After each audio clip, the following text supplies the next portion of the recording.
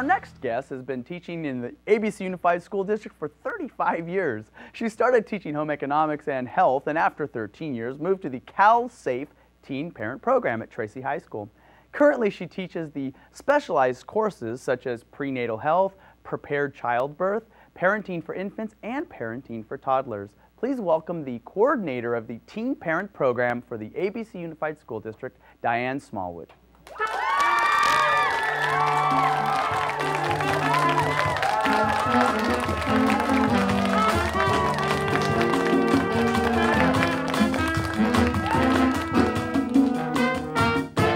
So you are uh, you're the coordinator of the CalSafe Teen Parent Program, mm -hmm. and uh, maybe you can kind of give us a little bit of background, how long it's been around, how long the district's been involved, and your kind of part of it. Well, we're a regular high school class, um, and a program for teenagers who are expecting, or who are already parents, still of high school age. So anybody in our school district who attends one of our schools can be part of the program, and that means the guys as well as the girls. Okay. So we also service uh, teen dads and teen moms. Great. And so is this a newer program or has it been around for a while? No, it's been in existence for 35 years, but so many people don't know about it.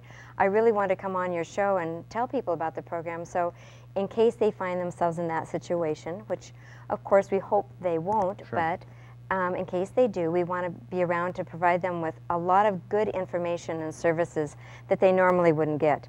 Um, one of the best things that we have going in our classroom is that we have a kitchen and a bathroom. And nice. that's very important for a pregnant woman. I'm sure that's probably one of their favorite parts. it sure is. Being pregnant, having the facilities right there. Right there. And we also have some other wonderful facilities. We also have an infant center, so after the baby's born, the baby can go to the infant center right on the Tracy campus, mm -hmm. and then the parents can continue going to classes.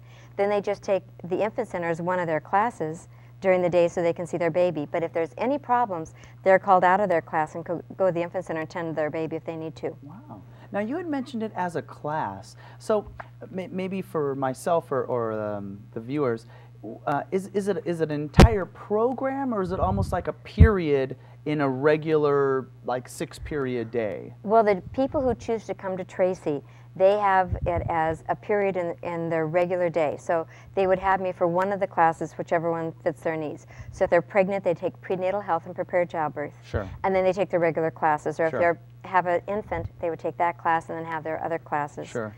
Um, but you can be in the program and be at any school in the ABC Unified School District. So we serve kids who are at Gahr, Cerritos, Artesia, Whitney, um, and all the alternative schools too, like you know, independent study, right. all those students. We still go out and visit them and try to give them all the information and provide them with services they need.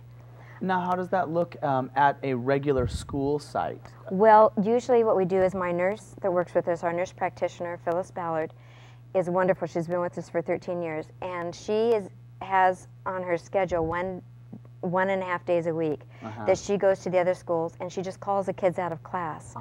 okay. And they meet her in the office or the nurse's office and then she talks with them and sees what they need. Then we have packets already ready for them. So if they have questions about legal issues, they have questions about a toddler, we have little packets that we can give her or we get it, send a counselor to them. Because we also have counselors uh, available for all of our students. We have a family therapist who has group counseling and individual counseling um, each week.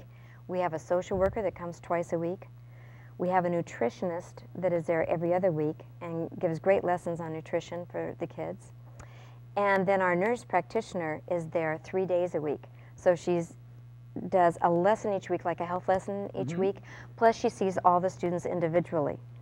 Um, so we try to provide them with lots of services, and of course we have our infant center, and we take them to WIC, um, which gives them coupons for food. Right. We take them on a bus every month. Um, plus lots of other services too. Well, it seems like the program is really comprehensive and not just uh, focusing on, okay, you're uh, pregnant and you still need to do your schooling. It's, well, you're pregnant and how are we going to help you with that situation while you continue your schooling? Absolutely. And then we also try and bring in special speakers to help them like um, we have a family law attorney that comes in twice a year to give them the accurate information what the law says about being a minor about custody support parental rights emancipation, things like that. Yeah, I would imagine there's lots of cases where other adults are kind of giving them misinformation to kind of scare them or threaten them, and if they can be kind of armed with, you know, what the law says or the truth is, then that definitely puts them in a more powerful position to do what's maybe best for them or their child as opposed to making choices based on you know misinformation yes so. they do that a lot. There's a lot of misinformation around so Sure. we're really happy to be able to give them accurate information and also just give kids support. Um, this is a time that is very challenging in their lives. They have a lot going on and so we're really happy that we can be there and surprise give them information and support. How many individuals would you say are in the program well currently we probably have about 100 Okay. um, i would say about 60 that attend the specialized classes in the program at tracy okay and about 40 that are in other, at other sites and then uh, and uh, that's the usual number you keep about all year Okay, and so they would kind of cycle through Mm-hmm. at about that rate. Um, of the 100 students that are in the program, how many would you say are, are girls and how many are, are boys?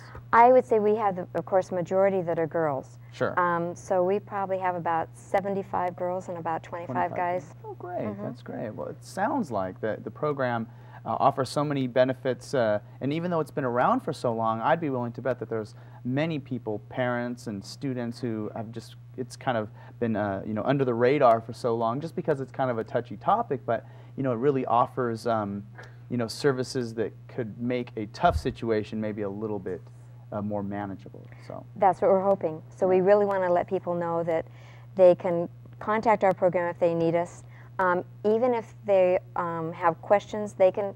You're not sent to our school. It's a voluntary program, um, and being in, being having our services voluntary also, we just have to meet with you to see, tell you what we offer, and if you don't want our services, you don't. No have to take them. No problem. Is there a phone number that if someone was just interested in getting information uh, that, that they could call?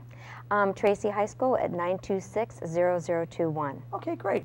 Thank you so much for coming, Diane, today. I, I really think you've kind of brought some information to our viewers that they were unaware of. I know myself, uh, I was kind of uh, unbeknownst to me uh, that this program was as expansive and uh, long-serving as it has been. So thank you so much for coming, and uh, to you. So thank you so much for coming. Absolutely.